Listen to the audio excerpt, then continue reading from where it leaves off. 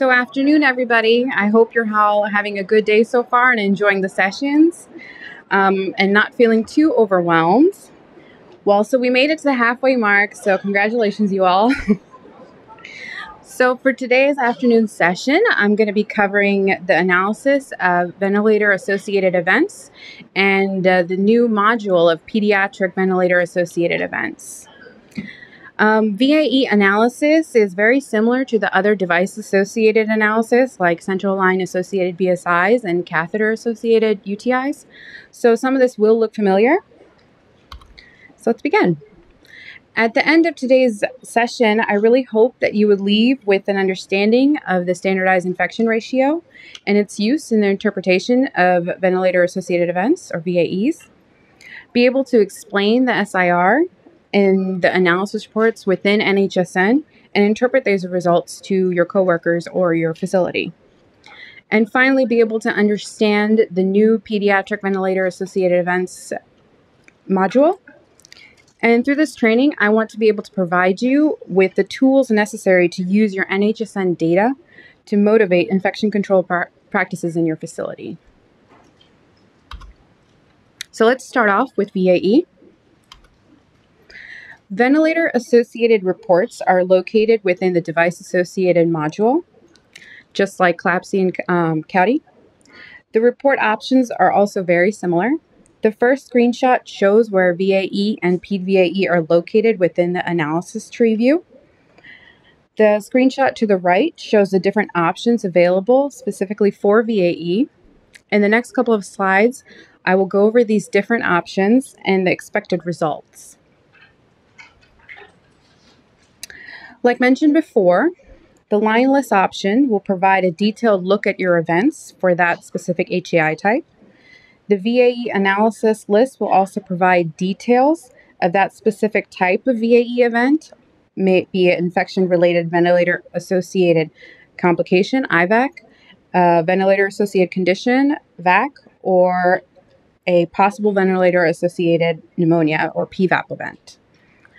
The next option you'll be able to run is their frequency table. Frequency tables provide a visual representation of your location specific event counts for that event type. One important thing to note about the frequency table is the option to see the events that contribute to the total VAE count. We'll take a look at the frequency table in the next slide. And lastly, we have bar, bar charts and pie charts and that provides a graphical representation of the VAE data, which we'll look at also.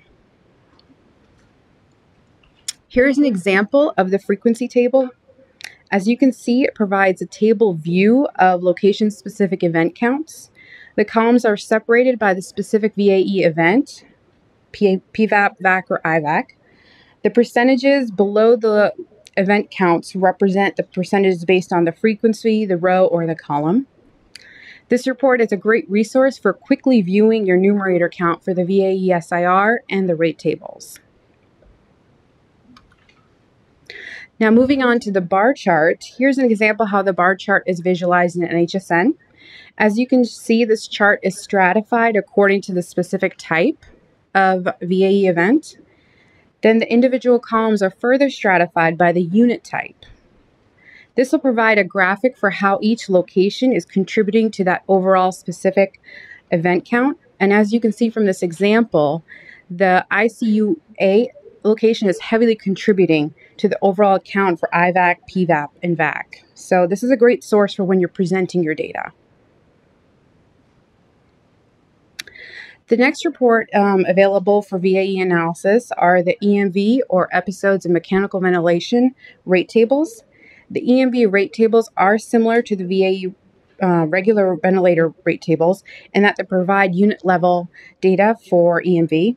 The EMV denominator of the rate calculation represents the sum of the number of episodes of mechanical ventilation that occurred in that location for the month. So the calculation would be the number of VAEs divided by the number of number of VAEs divided by the number of EMVs multiplied by 100.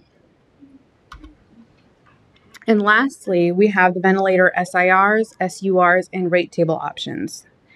The ventilator SIR is available for acute care hospitals, critical access hospitals, and long term acute care hospitals.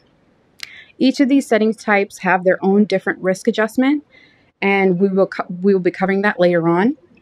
The VAE SUR table is a summary measure used to track device use over time.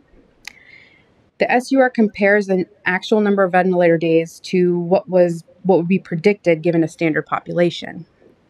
The SUR tables are also available for the same setting types as the SIR tables. And finally, the ventilator days rate tables. The VAE rate tables provides um, location level event counts, device days, patient days, device utilization, and the VAE category. As you can see in the screenshot to the right, the rate tables are separated by CDC location, not your specific unit type. The, the boxed areas is where you can see the tables um, specifying that CDC location. The vent days rate is calculated by taking the VAE count, dividing it by the vent days, and multiplying by 1,000. The utilization ratio is calculated by taking the unit level vent days and dividing it by the patient days. I would also like to point out one restriction that you all may be aware of that using the rates, um, they can only be calculated at unit level, which is why we recommend that you run the SIR um, tables, which are not bound by that same restriction. Like the other analysis options for VAE, the rate tables are also stratified by the VAE category. Within the table, the values will be either total VAE, total IVAC plus, or total VAP. So I'm pretty sure you haven't seen the slide before. So a review of the standardized infection ratio. I won't be spending time on this slide that much, but the SIR is the observed number of HAIs divided by the predicted number of HAIs. And this measure is used to compare the HAI experience among one or more groups to a group of patients to a standard population. So the VAE SIR is calculated in two categories. There's the total VAE SIR and the IVAC plus SIR. They both use the same negative binomial regression model. Like I covered in the device associated um, analysis presentation, this side slide displays a negative binomial regression model. It has the alpha, which is the intercept, the beta value, which is the parameter estimates, the x value, which represents the presence or absence of the risk factor, and an i, which is the number of predictors. So here are the risk factors in the total VAE models for all facility types. For acute care facilities, the following risk factors were found to be significant for the total VAE model CDC location, medical school affiliation, and facility bed size, and facility type. The medical school affiliation and facility bed size are derived from the annual survey. For critical access hospitals, the VAE model is intercept only, which means that there were no significant risk factors that were identified during the statistical analysis. And finally, for long term acute care facilities, the following risk factors were found to be significant CDC location, facility bed size, proportion of admissions on hemodialysis, proportion of admission, admissions on a ventilator, and average length of stay. The last four factors are derived from the annual survey, and the proportion of annual admissions on a ventilator or hemodialysis is calculated as the number of admissions on a ventilator or hemodialysis divided by the total number of annual admissions. And the average length of stay is calculated by taking the annual number of patient days divided by the annual admissions. So here is the model for total VAE for long-term acute care um, facilities. It's calculated under the 2015 baseline. It's risk adjusted on these following variables. We have our intercept value, which is negative 8.3689. Then we have facility bed size, with the referent value being less than 32 beds. Then we have proportion of admissions on hemodialysis. Your referent value is those less than or equal to 0.11. Then proportion of admissions on a ventilator, your referent value being less than 0.18. Then your location type or ICU ward, and your average length of stay. Also, like mentioned before, as of October 1st, 2018, the LTCH QR program is no longer requiring LTACs to submit VAE data, but your state may have different requirements and different qualifications for their program. So you would need to check with your HAI coordinator for that. Now, here are the risk factors that are included in the IVAC Plus model by facility type. For acute care facilities, the following risk factors were found to be significant CDC location, medical school affiliation, and facility bed size, with medical school affiliation and facility bed size coming from your annual survey. For long term acute care hospitals, it was a facility bed size, proportion of admissions on a ventilator, and average length of stay. Proportion of annual admissions on a ventilator is calculated as number of admissions on a ventilator divided by the total number of annual admissions. Average length of stay is number of annual patient days divided by annual admissions. So this is the uh, take. We're going to take a look at the IVAC Plus um, model for long-term acute care hospitals. The intercept for this model is negative 9.9593. Then you have facility bed size. Then you have a pr- proportion of admission on ventilator and your average um, length of stay.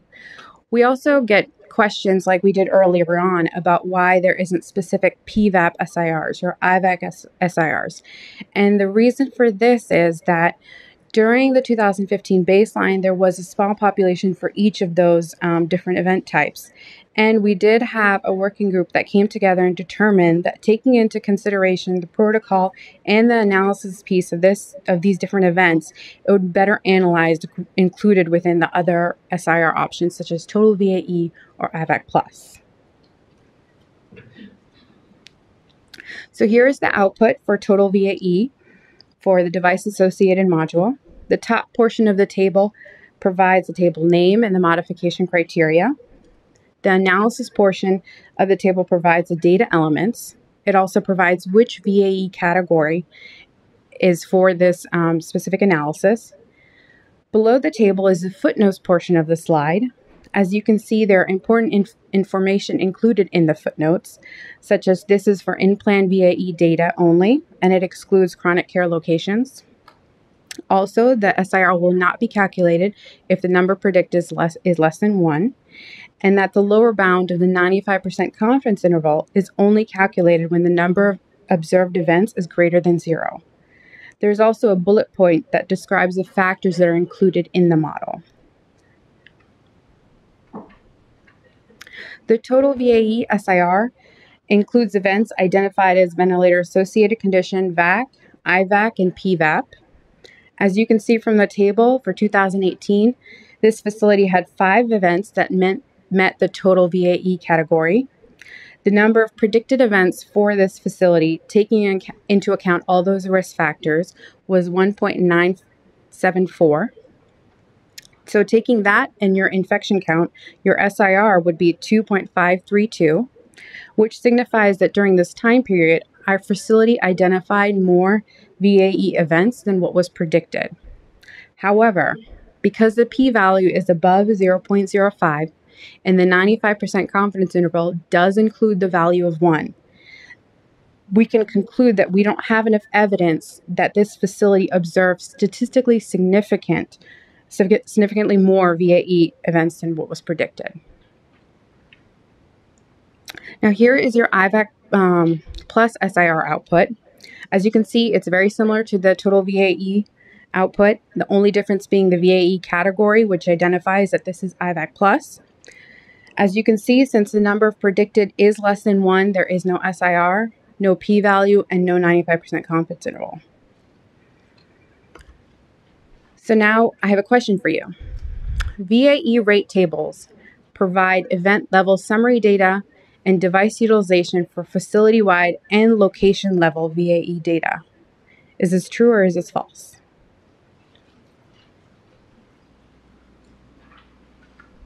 I'll give you all a couple more seconds.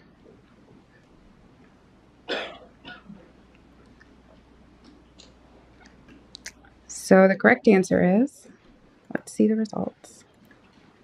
It is false. Let's take a look at why. So remember, Rate tables only provide data at location level, not facility wide. SIR reports, however, will analyze and provide facility wide data. All right, now let's take a look at P Pediatric VAE, our new module. Pediatric VAE reports include line lists, frequency tables, bar and pie charts, and the main analysis tables of the of pediatric VAE are rate tables. There's rate tables for ventilator days and EMV tables for NICU locations and all other qualifying locations. At this time, there are no SIR tables available for pediatric VAE. The report modification is the same process as you would be modifying other HAI types. You have your, for your rate tables, you have your title, your time period, filters, and display options. So this should all look very familiar.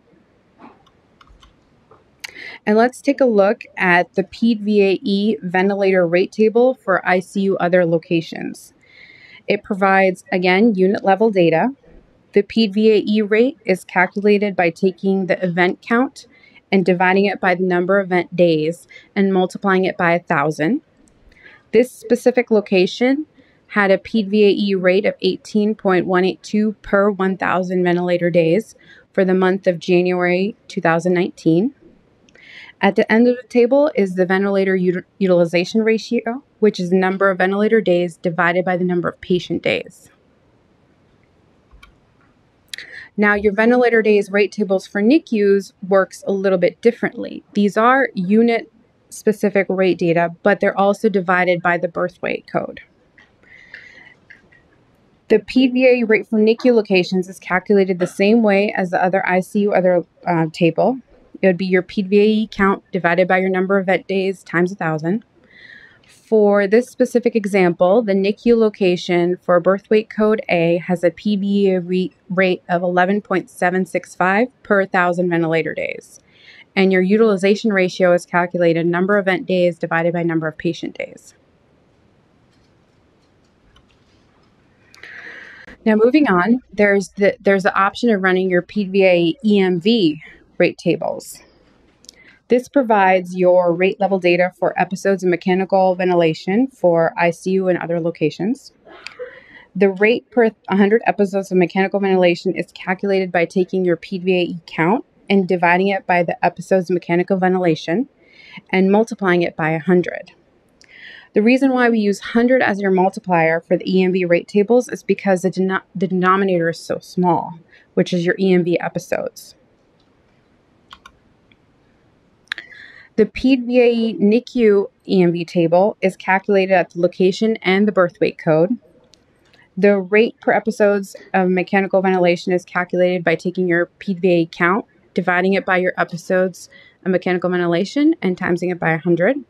As you can see for birth weight code B for January 2019, this location had a EMV PED-VAE EMV rate as 33.333. Here are some resources for VAE analysis, and they will be helpful to you when you're analyzing your NHSN data. And this brings us to the end of this today's session. Thank you so much for your time and attention. And if you have any questions, I'll take them now. And if not, you can email us at nhsn at cdc.gov. Thank you all, and have a great rest of the week.